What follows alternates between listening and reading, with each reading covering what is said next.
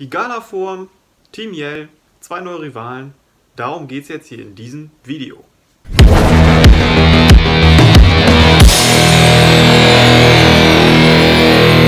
Hallo und herzlich willkommen zum neuen Video auf meinem Kanal. Heute werden wir den neuen Trailer zu Pokémon Schwert und Schild analysieren. Ja, ihr habt ja gerade schon gehört und den Thumbnail entnommen, worum es heute geht. Wir werden uns jetzt als erstes gleich einmal den Trailer komplett anschauen. Ähm, und danach werde ich auf die einzelnen Punkte eingehen und wir werden nochmal drüber sprechen. Also viel Spaß bei dem Trailer. Bis gleich.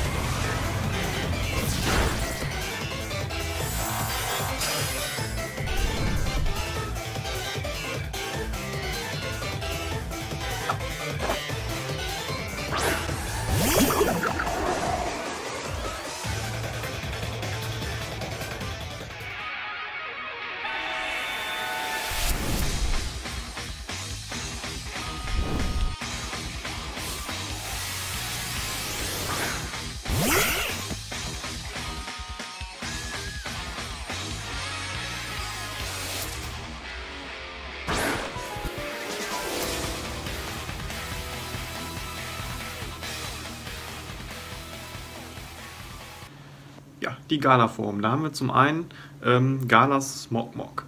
Ja, Gala Smogmog vom Typen Giftfee. Eigentlich eine coole ähm, Typenkombination. Wenn man überlegt, Gift ist immer gut gegen Fee gewesen. Jetzt ist das Ganze ähm, hinfällig, weil einfach, ja, wie gesagt, man kann es halt damit nicht angreifen. Und äh, das Einzige, was noch gut wäre, ist dann Typ Stahl. Aber wie gesagt, den muss man ja auch erstmal haben oder eine Attacke vom Typ Stahl haben. Und das ist ja nicht unbedingt, hat man nicht unbedingt dabei.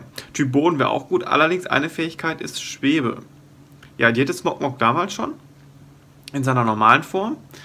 Und die neue, also es wird wahrscheinlich noch eine neue Fähigkeit bekommen, die ist aber noch nicht bekannt. Also deswegen stehen noch die Fragezeichen da. Ja. Was wir noch gesehen haben, das ist auch komplett neu, das ist auch das allererste Mal. Und zwar Zixas bekommt eine Gala-Form. Geradax natürlich dann auch. Und es kann sich entwickeln. Das erste Mal, dass es eine Gala-Form entwickeln kann. Sonst haben wir ja ab und zu mal Mega-Formen gehabt. Die sind dann, ja, wie soll ich sagen, haben dann den Typen auch verändert. Und das war wie so eine Entwicklung, aber nur für den Kampf. Halt, ja, man hatte, musste aber auch ein Item anlegen. Jetzt kann sich generell entwickeln. Ja, Geradax ist ja an einen Dax angelehnt und scheint hier auch das neue Signature-Pokémon von dem neuen Team zu sein, von dem Team Yell. Ja, dann haben wir noch ein neues Pokémon bekommen. Und zwar Moro Peko. Oder Moro Peko? Ja, doch, Moro Peko heißt es. Das kann ähm, zwei verschiedene Formen annehmen. Ups, sorry. Ähm, und zwar hat das den Typen Elektro-Unlicht. Und dann hat es einmal seine ähm, Papsat-Form. Dann ist seine Typ ähm, Aurarad vom Typ Elektro. Und hat seine Form äh, Kohldampfmuster. Und sein Kohldampfmuster bewirkt, dass das Typ, also die Attacke Aurarad vom Typ Unlicht ist. Ja, wieder eine richtig coole Sache eigentlich. Wobei das Pokémon, was ein Hamster ähnelt oder ich weiß nicht, oder von mir aus auch Meerschweinchen, ähm, ist halt schon wieder so Pikachu-mäßig. So jede Staffel gibt es irgendwie so eine Pikachu-Form. So langsam, hm, weiß ich nicht, was ich davon halten soll. Andererseits ist es eine coole Idee, aber irgendwie wieder so ein Pokémon, ja, weil es Typ Elektro hat und Elektro meist nicht so viele gibt, kann man es überlegen, vielleicht ins Team zu nehmen, aber irgendwie, es haut mich nicht ganz so um. Das ist genauso, ja, also meine Meinung zu Geradax, zu der neuen Gala-Form. Ich finde es eigentlich relativ cool, vor allem die Weiterentwicklung, das sieht schon recht cool aus. Der Typ ist natürlich nicht so geil, weil kommt ein Kampf-Pokémon oder eine Kampfattacke, dann äh, Vielfach-Schwäche, nichts zu machen. Smogmog, optisch, haut es mich nicht so um. Aber der Hintergrund bei der Story, dass das im Prinzip die dreckige Luft in Gala ansaugt und über seinen Zylinder oder Kamin, den er auf dem Kopf trägt, ähm, quasi aus der dreckigen Luft wieder saubere Luft macht. Ist so wie Slimer Slimog bei der ähm, Alola-Form, die den Müll gefressen haben und im Prinzip dadurch die Insel sauber gehalten haben. Ja, von der Hintergrundstory her finde ich es eigentlich relativ cool. Optisch gesehen, hm, also Smogon wird wohl keine Alola, äh, Gala-Form bekommen. Und ich kann mir auch nicht vorstellen, dass die Pokémon von den Editionen X und Y, dass die ähm, einen neuen Typ bekommen, weil das ist ja Frankreich gewesen. Frankreich ist äh, in der Nähe von England und ich denke mal nicht, dass die Klimazone da anders ist. Also die ist nicht anders und ähm, von daher Schwachsinn eigentlich. Deswegen eigentlich schade. Den einen oder anderen hätte ich gerne da nochmal in einer anderen Form, einem anderen Typen-Kombi gesehen. Aber naja, trotzdem kann man nicht meckern. Die finde ich jetzt relativ cool. Ja, dann haben wir unsere neuen Rivalen. Einmal Betis. Ähm, ja, der Name ist auf jeden Fall, ich finde den cool. Der ist zwar ein bisschen, ja, ich sag mal, für den deutschen Sprachgebrauch gar nicht so bekannt, beziehungsweise ich habe ihn das erste Mal gehört, aber ich finde eigentlich cool, weil das ist was Individuelles und der Typ also erst sah es aus wie so eine Oma, muss ich ganz ehrlich sagen, aber wenn man genau hinguckt, dann sieht man der Typ eigentlich cool. Also seine Schacks und so auch seinen lässigen Style eigentlich, der hat irgendwas. Ich finde den ganz cool. Muss ich ehrlich sagen, von den Rivalen finde ich den am coolsten. Und dann kommt da noch Mary dazu. Ist im Prinzip, sie will ähm, also die Hintergrundstory bei Mary ist, sie will Pokémon-Meisterin ähm, werden und hat so seinen eigenen Fanclub. Also so ein bisschen so wie dieses Ziel damals bei Team Flair durchzubringen und wo die einfach irgendwelche Unterstützung gesucht haben. Ich sag mal, irgendwelche fast schon Söldner angeheuert haben. So hat sie ihren Fanclub und versucht Fans zu gewinnen, die sie pushen und äh, für sie kämpfen und versucht wahrscheinlich mit allen Mitteln nach oben zu kommen. Und ja, sie unterstützen die. Man sieht das auch ganz gut bei Team Yell. Sie haben die äh, so Fanschals dabei und so Tröten und ja, scheint wohl immer so ein bisschen Radau für sie zu machen, also ein bisschen Unterstützung zu geben. Ja, ist ganz cool. Team Yell, mm, man hätte ein cooleres Team einbauen können, muss ich ganz ehrlich sagen. Team Yell hört sich auch nicht so mega geil an.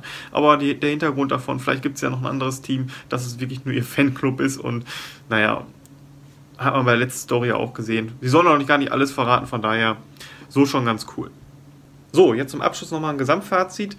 Ähm, ich muss ganz ehrlich sagen, der Trailer, der war bis jetzt mit der beste, aufgrund, weil ich dieses ähm, Ultra Diamond Maxing und weiß nicht was, alles nicht so feier und ich Team äh, Yell bzw. die neuen Rivalen eigentlich relativ cool finde. Gala-Form bringt die Spannung rein, einfach aus dem Grunde setzt zum Beispiel einer ein äh, Zichzas ein, da weiß man nicht, hm, setzt das normal ein oder setzt er jetzt die Gala-Form ein.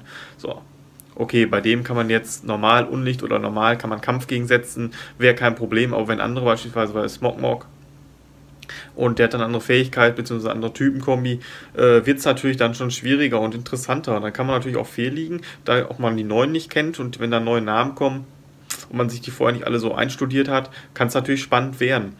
Ähm, ich, da ich auch ein bisschen die News mache, komme nicht drum rum und habe schon die neuen Namen ziemlich gut drin. Aber wie gesagt, das ist trotzdem alles noch spannend, weil man die Pokémon ja trotz alledem nicht so gut kennt.